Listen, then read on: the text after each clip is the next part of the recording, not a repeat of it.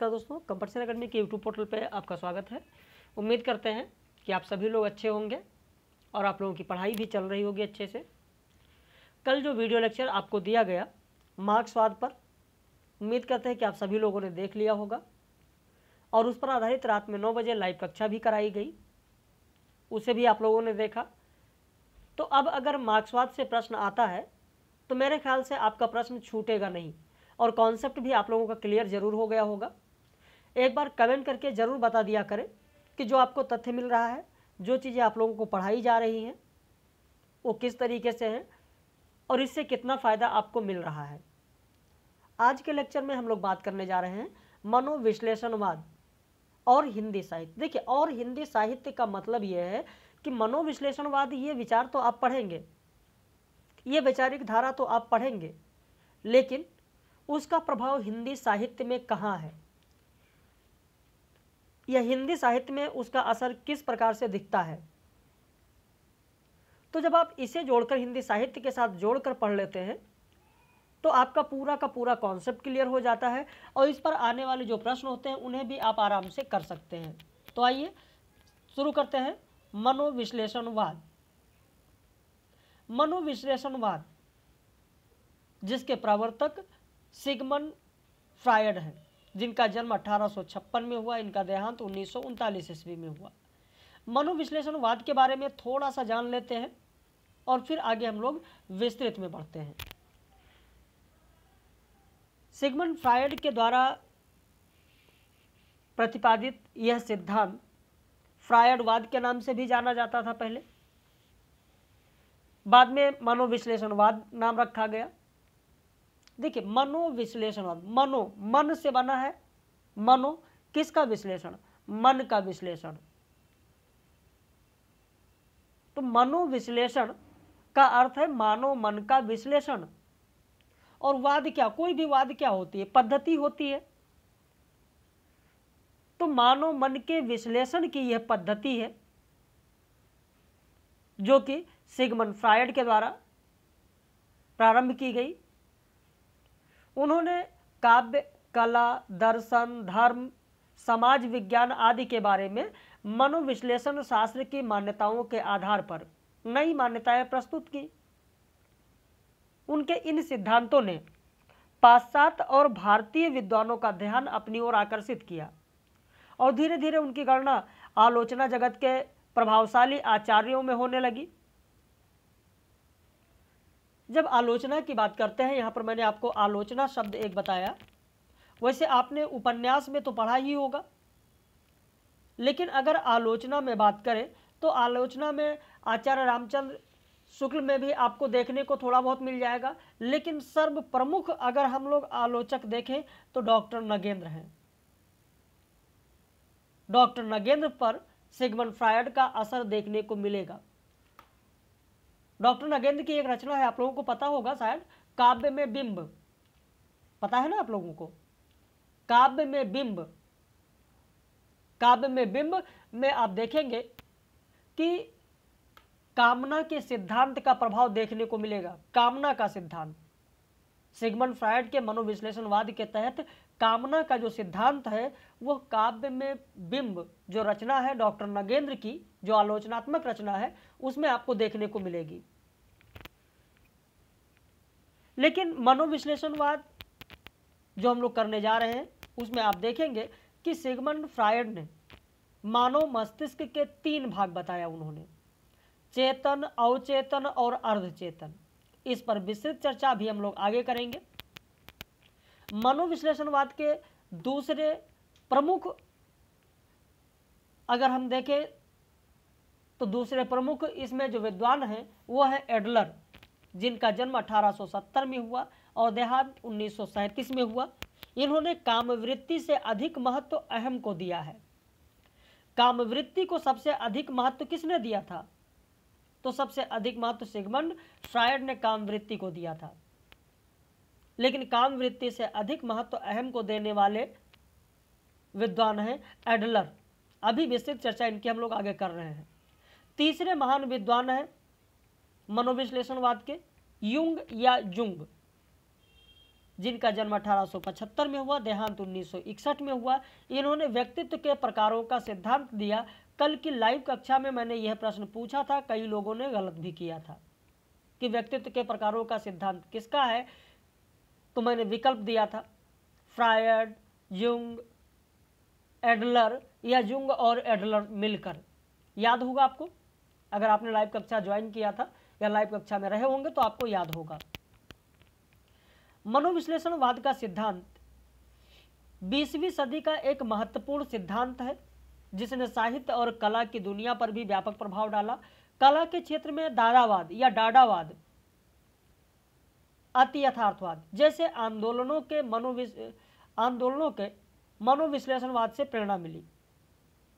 मनोविश्लेषणवाद को समझने से पहले हमको फ्रायड को समझना होगा।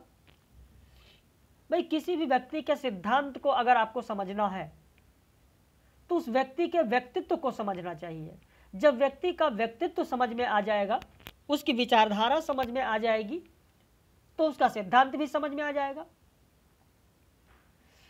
अगर आपको आचार्य रामचंद्र शुक्ल की आलोचना पढ़नी है तो आचार्य रामचंद्र शुक्ल का, विचार जानिए।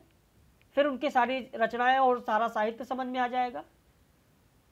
बच्चन सिंह को पढ़ना है तो उनके विचार जानिए।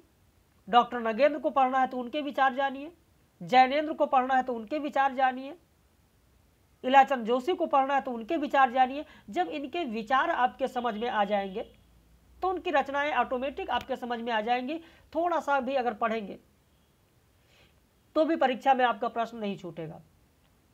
ठीक उसी तरीके से अगर हमको मनोविश्लेषणवाद पढ़ना है तो सबसे पहले फ्रायड को पढ़ना होगा। फ्रायड के सिद्धांतों को समझना होगा तो फ्रायड का एक सिद्धांत है, मानव व्यक्तित्व का शिल्पीकरण। अब आप सोचेंगे कि मानव व्यक्ति का शिल्पीकरण क्या है? भाई, मानव व्यक्ति के शिल्पीकरण की प्रक्रिया के लिए फ्रायड ने तीन तत्वों को स्वीकारा। इदम, अहम और अति अहम। अब इसमें इदम क्या है? इदम एक प्रकार की ऊर्जा है, जो कार्य प्रतिवर्ती क्रिया और विनम्र, जो विनम्र होता है, विनम्रों का निराकरण करती है। यह तनाव मुक्ति में सहायक है, जो इदम है। और इसीलिए आप खुद सोचिए कि जो तनाव मुक्ति में सहायक हो, उसे क्या कहेंगे? उसे कहा जाएगा सुख का सिद्धांत। तो इदम को कहा गया है सुख का सिद्धांत। अब बात करते हैं अहम का। अहम का विकास, संज्ञा प्राप्ति तथा बौद्धिक विकास के साथ साथ पारिवारिक के संपर्क से होता है। और यह इदम को व्यवस्थित करता है। जो सुख का सिद्धांत है, उसी को व्यवस्थित करता है कौन? अहम।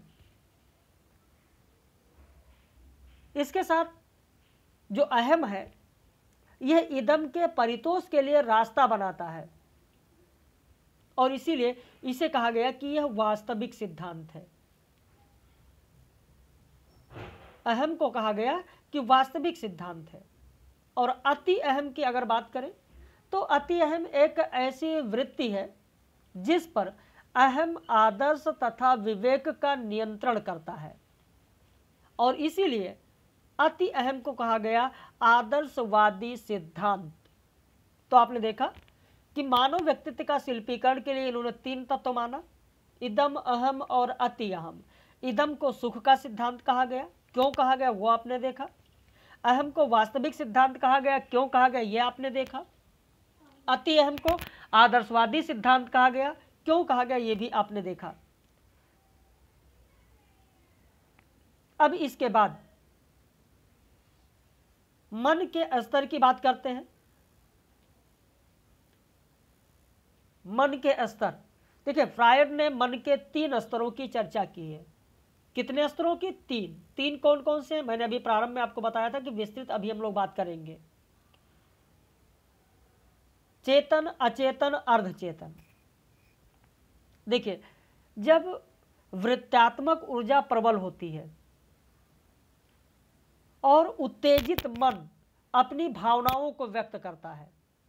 जो उत्तेजित मन है, वो उत्तेजित मन अपनी भावनाओं को व्यक्त करता है। तब यह मन का जो स्तर होता है, वो कहलाता है चेतन। समझ में आ गया चेतन क्या है? जब उत्तेजित मन अपनी भावनाओं को व्यक्त करता है, तब मन का स्तर चेतन कहलाता है। लेकिन जब वृत्तात्मक ऊर्जा अहम या अति अहम के कारण। अहम, आप समझ गए, आदर्शवादी जो मैंने अभी आपको पढ़ाया? अहम या अति अहम के कारण सफल नहीं हो पाती। तब जो भावनाएँ होती हैं, वो क्या होती हैं? भावनाएँ कुंठित होकर, मन के जिस स्तर में एकत्रित हो जाती हैं, उसे कहते हैं अचेतन। यानी आप कोई काम करना चाहते हैं आपका परिवार है?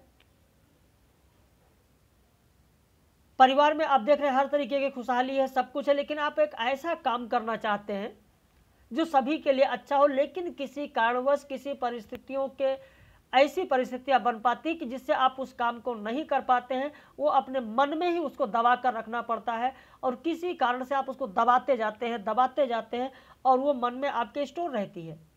आपके मन में बार बार वो ठोकर मारती है। तो जहाँ पर स्तर, जिस स्तर पर वो मन में एकत्रित होती, उसे कहते हैं अचेतन अवस्था। और अगर उत्तेजित मन अपनी भावनाओं को व्यक्त कर देता है तो कहा जाता है चेतन स्तर है, और नहीं व्यक्त कर पाता है तो उसे कहते हैं अचेतन है। अब अर्धचेतन क्या है? व्यक्ति की अधिकांश भावनाएँ और मनोविकार अचेतन में ही दबे रहते हैं। कहाँ दबे रहते हैं? अचेतन में दबे रहते हैं। और अर्धचेतन, चेतन का ही एक रूप है। कुछ भावनाएँ व्यक्त कर पाते हैं, कुछ नहीं व्यक्त कर पाते हैं। तो यह हो जाएगा आपका अर्धचेतन। अब बात करते हैं काम संबंधी दृष्टिकोण। काम संबंधी दृष्टिकोण क्या है? देखिए, फ्रायड के मनोविश्लेषणवाद का सबसे अधिक और सबसे महत्वपूर्ण सिद्धांत, काम सिद्धांत है। सबसे महत्वपूर्ण सिद्धांत कौन सा सिद्धांत है? तो काम सिद्धांत है। ध्यान रखिएगा। बहुत ही महत्वपूर्ण सिद्धांत है काम सिद्धांत। काम चेतना। क्योंकि जब हिंदी साहित्य में आप पढ़ेंगे अज्ञे जी को तो अज्ञे के अज्ञे का जो उपन्यास है अज्ञे का जो उपन्यास है, शेखर एक जीवनी। शेखर एक जीवनी, शेखर एक जीवनी में जो पात्र शेखर है, उसमें आप देखेंगे कि काम चेतना के सिद्धांत की झलक शेखर में मिलेगा। शेखर एक जीवनी में, शेखर में आपको मिलेगा। जैनेन्द्र के बारे में पढ़ेंगे आप। वहाँ देखेंगे मनोविश्लेषण कार्य उनका जो उपन्यास है, उसमें भी बहुत सारी चीज़ें आपको वहाँ पर भी काम चेतना मिलेगा।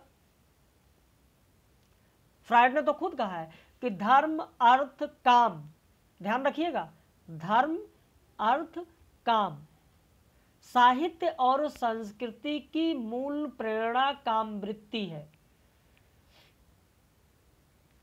अगर कॉपी पर है तो लिख भी सकते हैं आप। धर्म, अर्थ, काम। साहित्य और संस्कृति की मूल प्रेरणा काम वृत्ति है। किसने कहा है? फ्रायड ने कहा है। इतना ही नहीं, आप देखेंगे तो फ्रायड ने कहा है। उन्होंने काम वासना को महत्व दिया है। सबसे अधिक महत्व किसे दिया है? तो उनका जो काम संबंधी दृष्टिकोण है, उसको सबसे अधिक महत्व दिया है। काम वासना को महत्व प्रदान किया है। फ्राइड के कुंठाओं के आधार पर। आप देखेंगे, हिंदी साहित्य के जो लेखक हैं, वो फ्राइड के कुंठाओं के आधार पर मनुष्य की दमित वासनाओं, कुंठाओं, कामवृत्तियों, अहम, दम्भ और हीन भावना आदि का चित्रण करके हिंदी उपन्यास में व्यक्ति का ऐसा रूप प्रस्तुत किया, जिससे वह अपनी आंतरिक छवि देख सकता है। खैर, वो तो साहित्य में अभी आगे आएँगे तो आपको बताएँगे। अभी काम संबंधी यहाँ दृष्टिकोण इनका देखते हैं। तो फ्रायड के मनोविश्लेषणवाद का सबसे अधिक महत्वपूर्ण सिद्धांत, काम सिद्धांत है। वे काम को जीवन की सर्वाधिक प्रबल शक्ति मानते हैं। और इसे उन्होंने लिविडो की संज्ञा दी है। क्या संज्ञा दी है? लिविडो। वे चार प्रकार की काम वासनाएँ मानते हैं। मुखगत, गुदागत, लैंगिक और जन जननेन्द्रिगत। ये चार प्रकार की काम वासना फ्रायड ने माना है। देखिए, फ्रायड ये मानते हैं, फ्रायड शिशु को, जो शिशु है, जो बच्चा होता है, जो बच्चा है, शिशु है। शिशु को प्रारंभ से ही काम मूलक मानता है। फ्रायड, क्या मानते हैं? काम मूलक इतना ही नहीं, तेरह वर्ष की अवस्था में उसकी रति इच्छाएँ बलवती हो जाती हैं।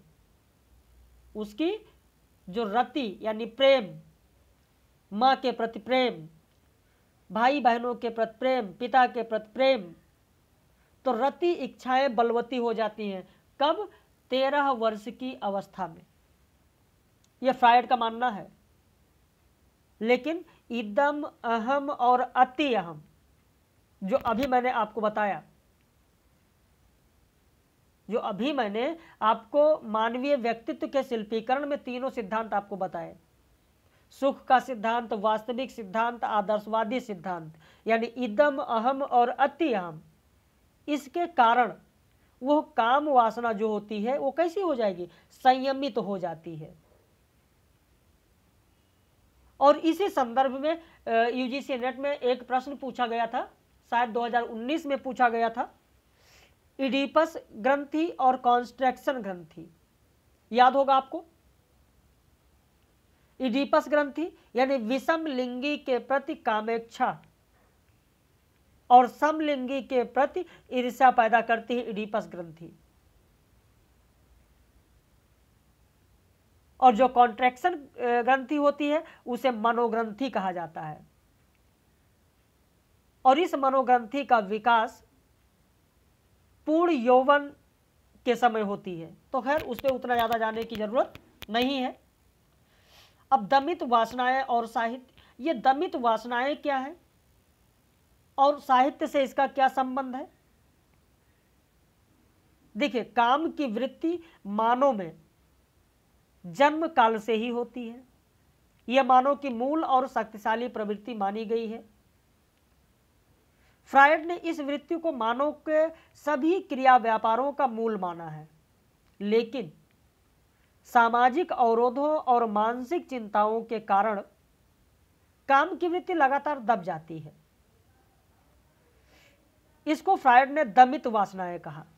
दमित क्यों? दमित वासनाएँ, यानी दबी हुई वासनाएँ। दमित वासनाएँ जो है, वो क्यों दब जाती हैं? सामाजिक अवरोधों और मानसिक चिंताओं के कारण। जो काम की वृत्ति है, वो दब जाती है और उसी को कहा जाता है दमित वासनाएँ। तो जब वासनाओं की पूर्ति नहीं होती, तब उन्हें दबाया जाता है। और ये दमित वासनाएँ अचेतन में जाकर बैठ जाती हैं। चेतन, अचेतन, अर्धचेतन आपको पता ही है। अचेतन में जाकर बैठ जाती हैं। और कालांतर में ये दमित वासनाएँ या तो मानसिक रोग का रूप धारण कर लेती हैं, या मानसिक विकार बनकर मनुष्य को पाप कर्मों की ओर ढकेलती हैं। लेकिन जब ये दमित वासनाएँ उदात्त रूप में प्रकट होती हैं तो वह कला, साहित्य, धर्म और संस्कृति का रूप धारण कर लेती हैं। कोई ऐसी दमित वासना आपके अंदर है अगर आप उसको बाहर नहीं निकाल कहते नहीं है कि किसी से अगर कह दीजिए तो आपके मन का बोझ हल्का हो जाएगा। कहते हैं ना आप? तो अगर नहीं कहते हैं और वो दमित वासना आपके अंदर पड़ी हुई है चेतन अवस्था, अचेतन अवस्था में तो धीरे धीरे आपको क्या बना देगी? मानसिक रोगी बना देगी। मानसिक विकार बनेगा और मानसिक विकार बनकर आपको पाप कर्मों की ओर ढकेलेगा। जो काम वासना है, अगर उसको दबा कर रखा गया, या काव्य के रूप में प्रकट हो जाएगी, कला के रूप में, साहित्य के रूप में, धर्म के रूप में, संस्कृति का रूप धारण कर लेगी तो कार्ल जुंग जो थे, वो फ्रायड के मत से, जो ये मत है, इस मत से सहमत है। लेकिन एडलर ने व्यक्तित्व निर्माण निर्माण के श्रेष्ठ तत्व और हीन भावना की चर्चा की है। एडलर को जो फ्रायड का काम सिद्धांत है, वो मान्य नहीं है। एडलर फ्रायड के इस काम सिद्धांत को नहीं मानते हैं। उनका कहना है कि मानव के विकास, मानव के विकास में सामाजिक शक्तियों का योगदान है। वह अहम को जीवन का मूल केंद्र मानते हैं। लेकिन एडलर का कहना है कि प्रत्येक व्यक्ति नीचे से ऊपर उठने का प्रयास करता है और इसी को वो श्रेष्ठ तत्व की संज्ञा देते हैं। इसी के साथ ही एडलर मनुष्य के विकास का आधारहीन भावना को मानते हैं। क्योंकि मनुष्य के पास जो नहीं है, उसे पाने का वो प्रयास करता है। उसके बाद बात करते हैं कलात्मक साहित्य सृजन की। फ्रायड के अनुसार कवि की कल्पना दिवा स्वप्न है। किसके अनुसार? फ्रायड के अनुसार। कवि की कल्पना क्या है? दिवा स्वप्न है। वैसे जितने लोग लेक्चर देख रहे होंगे, कुछ, इसमें से कुछ लोग ऐसे भी होंगे जो सोचते हैं मार्क्सवाद नहीं समझ में आता है, मनोविश्लेषणवाद क्या है, अस्तित्ववाद क्या है यह नहीं समझ में आता है, इससे प्रश्न अक्सर परीक्षा में मेरे गलत हो जाते हैं, ऐसा बिल्कुल भी ना सोचें। एक एक पॉइंट समझते चलें, मैं गारंटी के साथ कहता हूँ कि एक भी प्रश्न परीक्षा में गलत नहीं होगा। समझने की कोशिश करिए और फिर देखिए, इतने साधारण शब्दों शब्दों में आपको समझाया जा रहा है, मुझे लगता है कि एक एक शब्द आपके समझ में आ जाएँगे। लेकिन कोशिश करिए। तो कल्पना साहित्य सृजन के तहत हमने देखा कि फ्रायड ने कहा कि कवि की कल्पना क्या है? दीवा स्वप्न है। दीवा स्वप्न तो समझ रहे होंगे। उनका मानना है, फ्रायड के का यह मानना है कि कवि जो होता है कभी भी बच्चों की तरह अति कल्पना का जगत बनाता है। उसमें यथार्थता नहीं होती, लेकिन वो उसे यथार्थता से सुशोभित करना चाहता है। और इसका परिणाम ये होता है कि बहुत से ऐसे भाव हैं जो मूलतः दुखद होते हैं। कवि की कल्पना के कारण वे दर्शकों और श्रोताओं को आनंद प्रदान करते हैं। फ्रायड ने यह कहा है कि बच्चा वयस्क होने पर भले ही अपनी बाल्यावस्थाओं की क्रीड़ाओं को छोड़ दे, लेकिन एक लंबे काल के बाद उसकी स्मृति में सैसोकालीन क्रीड़ाएँ और उससे उत्पन्न होने वाला आनंद बराबर बना रहता है। आज भी आप अपने ऊपर सोचिए। कभी कभी ज़रूर बैठते होंगे तो सोचते होंगे या बच्चों को खेलते देखते होंगे तो सोचते होंगे कि मैं भी बचपन में ऐसे था, ये खेल खेलता था, ऐसे करता था, वैसे करता था। तो वो सारी जो क्रीड़ाएँ हैं बाल अवस्था की वो याद रहती है। और इसका कारण यह है कि मानो जिस आनंद का उपभोग जीवन में एक बार कर लेता है, उसे वो सरलता से त्याग नहीं सकता। बच्चे और वयस्क, बच्चे और जो वयस्क मनुष्य हैं, उनमें अंतर यही है कि बच्चे अपनी क्रीड़ाओं को गुरुजनों से छिपाते नहीं हैं, लेकिन वयस्क अपने कल्पना चित्रों को दूसरे से छिपाने का प्रयास करते हैं। मन तो आपका भी होता होगा बच्चों के साथ कि चलो खेला जाए, ऐसे खेलें। लेकिन नहीं, आप नहीं खेल पाते हैं, आप अपनी इच्छा नहीं व्यक्त कर पाते हैं कि भी बच्चा क्या सोचेगा। तो जो बच्चे होते हैं, वो अपनी कल्पना को नहीं छिपा पाते हैं और जो वयस्क होते हैं, वो अपनी कल्पना चित्रों को दूसरे से छिपाने का प्रयास करते हैं। तो फ्रायड ने दीवा स्वप्न दृष्टाओं इसी को दीवा स्वप्न उन्होंने कहा है कि कवि की कल्पना क्या है? दीवा स्वप्न है। और इसीलिए वह कवि को या साहित्यकार को दो कोटियों में विभक्त करते हैं। कहते एक उस प्रकार का कवि, ऐसे कवि जो प्राचीन साहित्यकारों द्वारा प्रस्तुत लोक स्वीकृत सामग्री को ग्रहण करके साहित्य निर्माण करता है। दूसरा, ऐसा कवि जो अपने साहित्य की स्वयं उद्भावना करते हैं, दिवा स्वप्न दृष्टा कहलाते हैं, ये दो प्रकार के कवि होते हैं। ये कहा गया किसके द्वारा? फ्रायड के द्वारा। उन्होंने कहा कि दीवा स्वप्न ही अभि दीवा स्वप्न की अभिव्यक्ति ही काव्य है। यानी फ्रायड ने कवि कल्पना को दीवा स्वप्न कहा और कहा दीवा स्वप्न की अभिव्यक्ति ही काव्य है। उनका यह मानना है कि व्यक्ति अपने काम, मूल दीवा स्वप्नों को दूसरे से छिपाने का प्रयास करता है, लेकिन वह सफल नहीं हो पाता।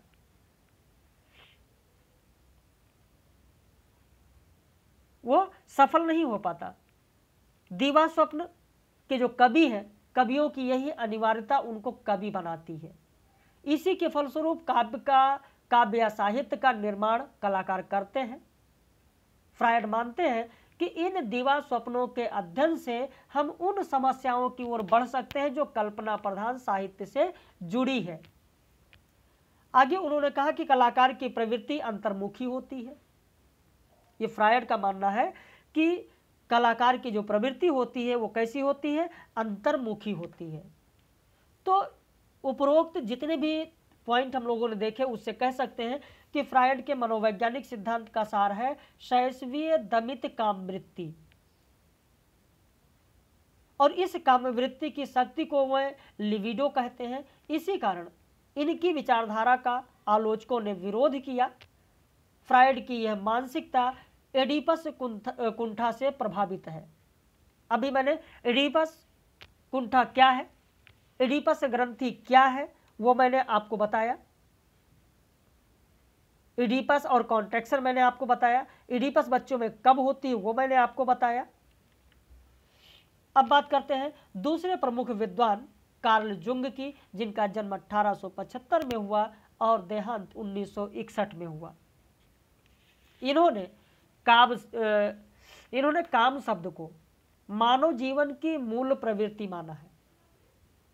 और जीवन के सभी क्रियाकलापों को प्रेरणादायक शक्ति माना है। इस संबंध में वो कहते हैं कि आरंभ में काम का वेग आरंभगत होता है, बाद में रतिगत। यौनावस्था आते ही व्यक्ति अपने जीवन में खालीपन अनुभव करने लगता है। लेकिन काम अपने उद्देश्य की ओर निरंतर गतिमान रहता है। जुंग ने इसकी दशाएँ मानी है। जो दो दो दशाएँ हैं, वह है अंतर्मुखी प्रवाह और बहिर्मुखी प्रवाह। इससे पहले आपने देखा कि केवल अंतर्मुखी प्रवाह माना गया है। इससे पहले आपने देखा कि केवल अंतर्मुखी फ्रायड के द्वारा माना गया, यहाँ पर अंतर्मुखी और बहिर्मुखी दोनों माना गया। अंतर्मुखी प्रवाह के तहत क्या होगा? कालजुंग के तहत हम देखें तो अंतर्मुखी प्रवाह में इन्होंने कहा कि इस वृत्ति के कारण, इस अंतर्मुखी प्रवाह के कारण व्यक्ति भावुक होता है, पलायनवादी होता है और लचीला बन जाता है इस अंतर्मुखी प्रवाह के द्वारा। और बहिर्मुखी प्रवाह के द्वारा, इस चेतना के कारण व्यक्ति में साहस तथा कर्म चेतना का संचरण होता है। और वह कर्मरत होकर निरंतर आगे बढ़ना चाहता है। तो जुंग की मान्यताएँ जो है, वो आप देख रहे हैं कि फ्रायड से कई तथ्यों पर अलग थलग देखने को मिलती है। फ्रायड के शिष्य एडलर ने काम की जगह अहम को मुख्य माना है। और जुंग ने दोनों को एक साथ रखा काम और अहम को। युंग के अनुसार, मनुष्य की स्मृतियाँ मानसिक व्यापार, कार्य व्यापार को चेतन मन में एकत्र नहीं रख पाती और वह अचेतन में चली जाती हैं। अचेतन मन में दमित रहने वाली अनुभूतियाँ, स्मृतियाँ, एवं विचार अहम को स्वीकार नहीं हो पाते। परिणामतः वहाँ भय, आशंका मृत्यु जैसी स्थितियाँ उत्पन्न हो जाती हैं, जिससे मनुष्य का मन प्रभावित होता है। अब तीसरे, विद्वान की बात करेंगे, अल्फ्रेड एडलर की, जिनका जन्म 1870 में हुआ और देहांत उन्नीस में हुआ। Alfred Adler. मनोविश्लेषणवाद का विवेचन करने वालों में एडलर का विशेष महत्व है। वह नौ साल तक फ्रायड स्कूल के चेयरमैन बने रहे, लेकिन 1911 में इन्होंने अलग स्कूल की स्थापना की। इनके चरित्र में व्यक्ति निर्माण, श्रेष्ठ तत्व की भावना और हीन भावना का विशेष महत्व है। सबसे पहले, अगर हम व्यक्तित्व निर्माण की बात करें तो फ्रायड के समान एडलर मानव विकास में दैवी शक्तियों को नकारते हैं। दैवी शक्तियों को नकारते हैं। कहते नहीं, मानव के विकास में दैवी शक्ति नहीं है। कोई दैवी शक्ति नहीं है जो मानव के विकास में वो योगदान करे। उसके स्थान पर वो मानते हैं कि सामाजिक शक्ति है। सामाजिक शक्ति मानव के विकास में अहम भूमिका निभाती है, ना कि दैवी शक्ति। एडलर ने फ्रायड के काम सिद्धांत को भी अस्वीकार कर दिया। एडलर ने फ्रायड का समर्थन एक जगह पर किया व्यक्तित्व निर्माण में। व्यक्तित्व निर्माण में बाल्यकाल के महत्व को स्वीकार किया है। लेकिन एडलर का सबसे अधिक ध्यान सामाजिक शक्तियों की ओर रहा, दैनिक शक्तियों की ओर नहीं। फ्रायड ने काम को जीवन का मूल केंद्र माना है। वही एडलर ने अहम को महत्व दिया है। फ्रायड का मानना था कि मानसिक रोगों का कारण काम होता है, लेकिन एडलर ने इसका कारण अहम को माना है। यानी एडलर का कहने का मतलब यह है कि अहम की तुष्टि होने पर बहुत से मानसिक रोगों से छुटकारा पाया जा सकता है।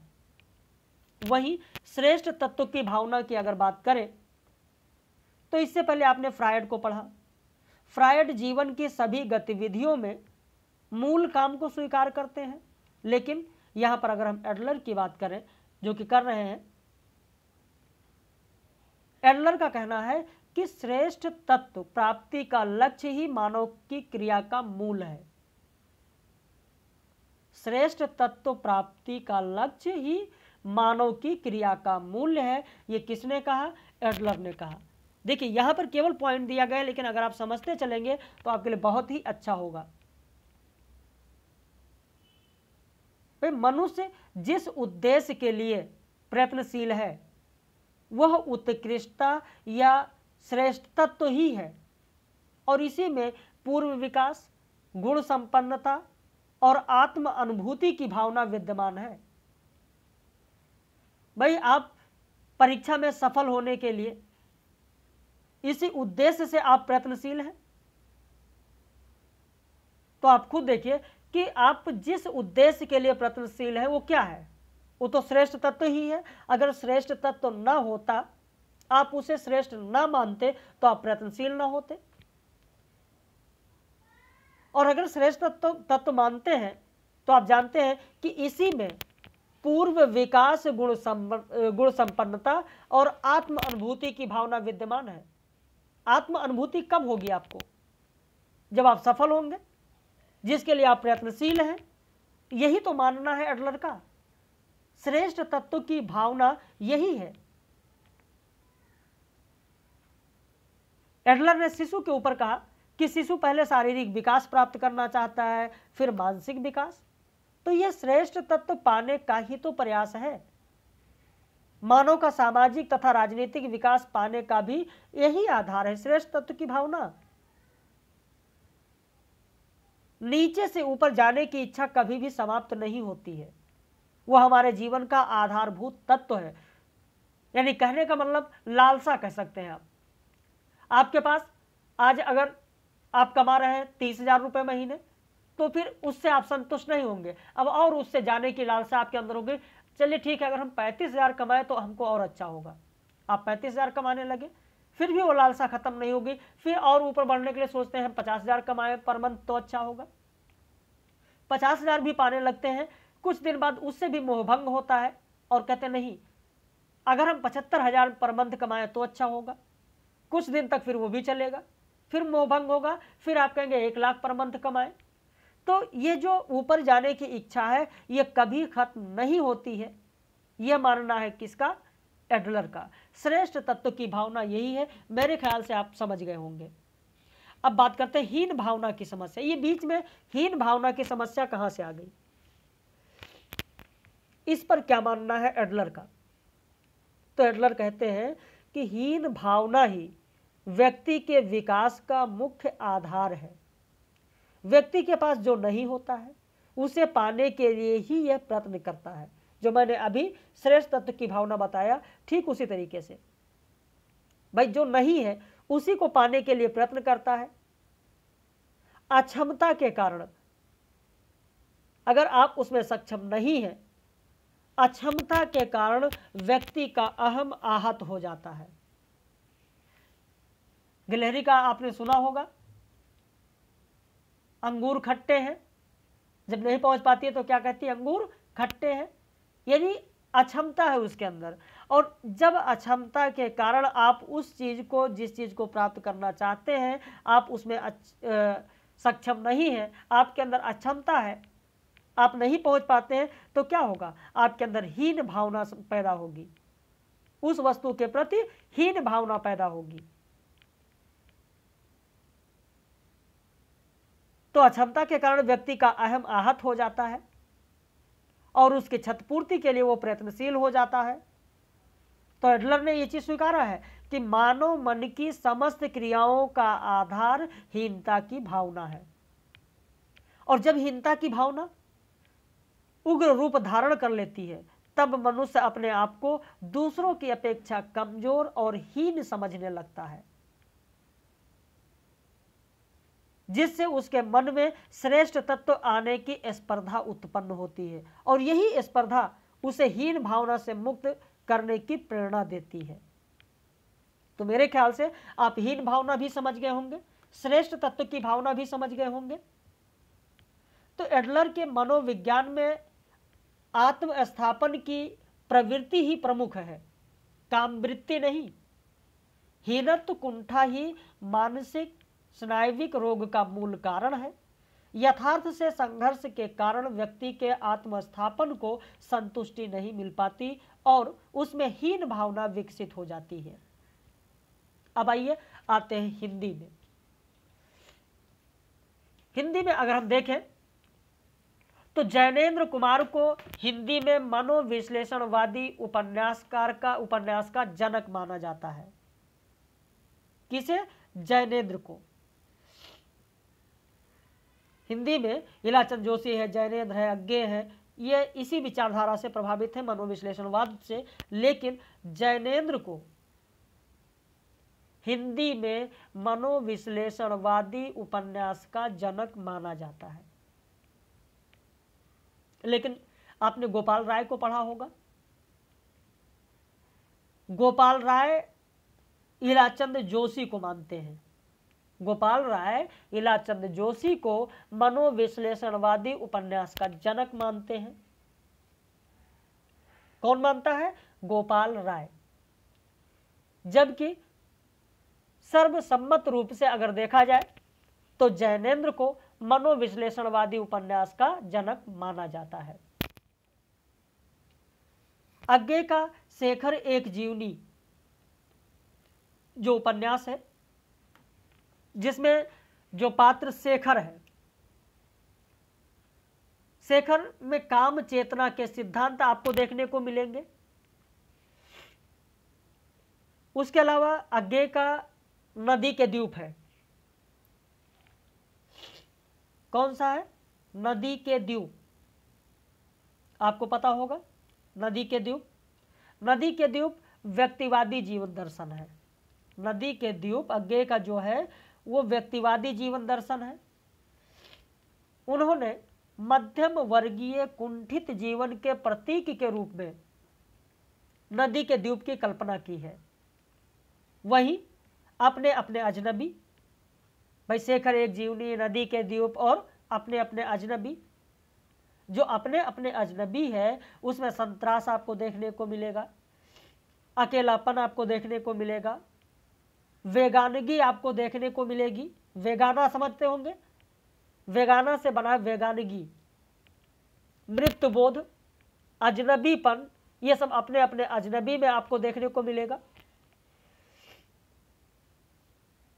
तो यहाँ पर आपने अज्ञे की जो रचना है, अज्ञे की रचना आपने देखा। अब उसके बाद बात कर लेते हैं जैनेन्द्र कुमार की। जैनेन्द्र का जो उपन्यास है, उसमें त्यागपत्र की मृणाल को देखिए। सुनीता उपन्यास की पात्र सुनीता को देखिए। उस पर भी मनोविश्लेषण वादी विचारधारा का प्रभाव है।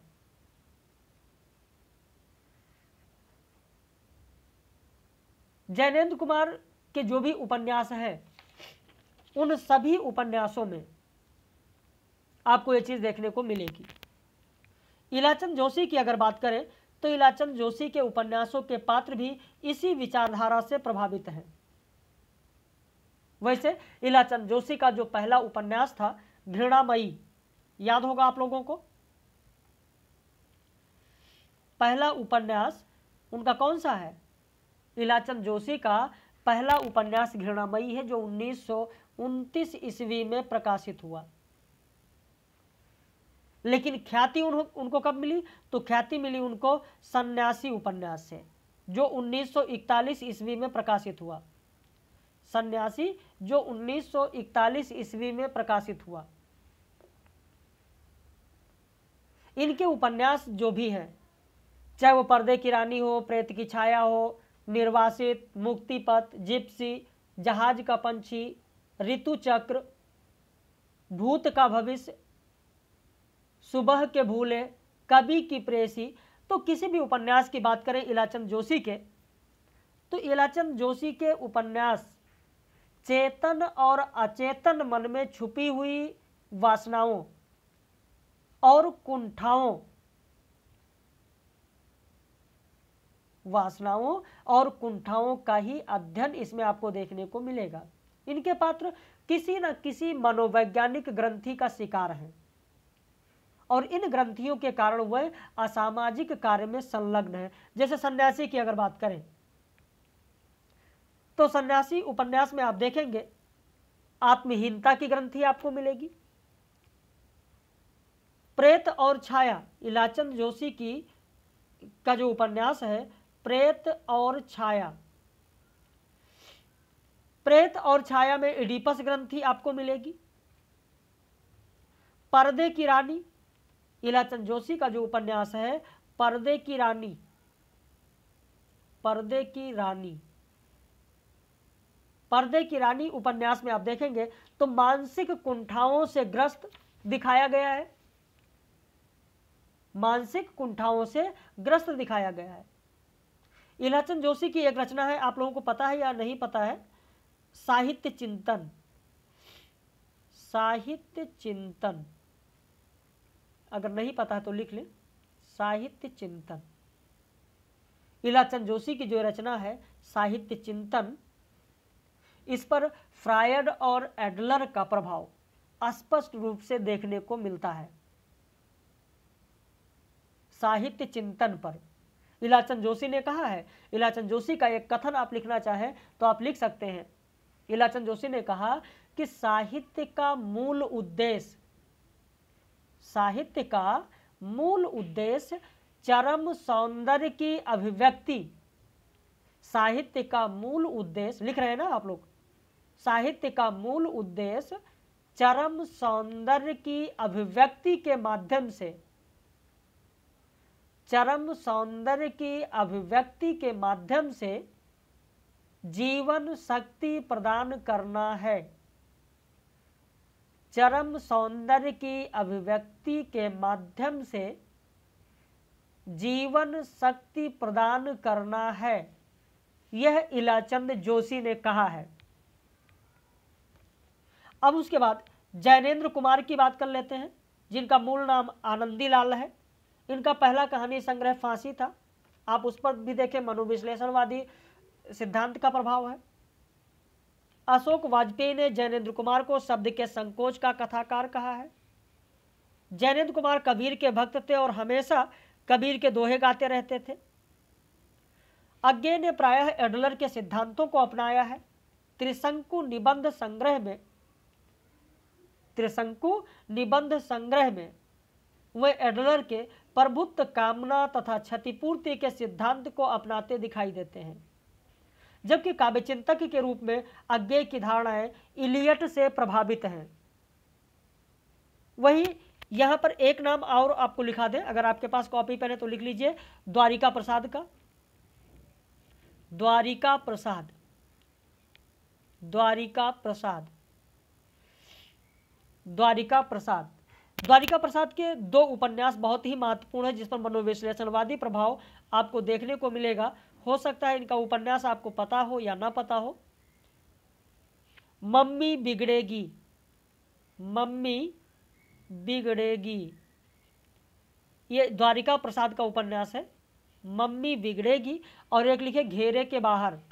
दूसरा लिखिए, घेरे के बाहर। घेरे के बाहर। यह दो बहुत ही महत्वपूर्ण उपन्यास हैं द्वारिका प्रसाद के। द्वारिका प्रसाद के दो बहुत ही महत्वपूर्ण उपन्यास हैं, जिस पर मनोविश्लेषणवादी प्रभाव आपको देखने को मिलेगा। वैसे द्वारिका प्रसाद ने दो पत्रिकाओं का संपादन भी किया था। वो दो पत्रिकाएँ कौन सी हैं, आप लोगों में से कितने लोगों को पता है, ज़रूर बताइएगा। द्वारिका प्रसाद ने दो पत्रिकाओं का संपादन किया था। वो दो पत्रिकाएँ कौन सी हैं, आप लोगों में से कितने लोगों को पता है, ज़रूर बताइएगा। चलिए, एक मैं बता देता हूँ। दूसरा आप बताइएगा। नर नारी। द्वारिका प्रसाद की पहली पत्रिका मैंने आपको बता दिया, नर नारी। नर नारी। नर नारी, पहली पत्रिका। दूसरी का नाम आपको बताना है। पहला है नर नारी, दूसरा आपको बताना है। बताएँगे? चलिए मैं बता देता हूँ, लेकिन कमेंट करके ज़रूर बताइएगा कि क्या आपको पता था या नहीं पता था बताने से पहले। दूसरा है हमारा मन। पहला है नर नारी पहला है नर नारी और दूसरा है हमारा मन। दूसरा है हमारा मन। इन दो पत्रिकाओं का संपादन भी द्वारिका प्रसाद ने किया था तो इसे भी आप लोग ध्यान रखिएगा। बाकी डॉक्टर नगेंद्र के बारे में मैंने आपको बताया कि उनकी रचना काव्य में, बिंब में प्रमुख कामना के सिद्धांत का प्रभाव देखने को मिलेगा। डॉक्टर देवराज की रचना जो पथ की खोज है, अजय की डायरी है, मैं, वह और आप, इन रचनाओं पर भी मनोविश्लेषणवादी सिद्धांत का प्रभाव देखने को मिलेगा। मनोहर श्याम जोशी की रचना जो हमजाद है, हमजाद पर भी मनोविश्लेषणवादी सिद्धांत का प्रभाव आपको देखने को मिलेगा। तो लेक्चर आपको कैसा लगा? कमेंट करके ज़रूर बताइएगा, आपके कमेंट का इंतज़ार रहता है। बाकी कल अस्तित्ववाद कराएँगे, यानी मार्क्सवाद हो गया। कल आज मनोविश्लेषणवाद हो गया। कल अस्तित्ववाद कराकर फिर मनोविश्लेषणवाद और अस्तित्ववाद पर दोनों पर आधारित लाइव कक्षा कल होगी, आज लाइव कक्षा नहीं होगी, इस चीज़ का ध्यान रखिएगा। फिर बाद में यह ना कहिएगा, कमेंट फिर आना शुरू हो जाता है व्हाट्सएप पे मैसेज आना शुरू हो जाता है, सर, लाइव कक्षा अभी नहीं हुई, अभी मेरे पास लिंक नहीं आया। तो इस चीज़ का ध्यान रखें, इसीलिए जो भी सूचना होती है वो वीडियो में बता दी जाती है। तो हम लोग फिर मिलेंगे कल लाइव कक्षा में। बाकी दोपहर में आपको अस्तित्ववाद पर आधारित वीडियो लेक्चर मिलेगा।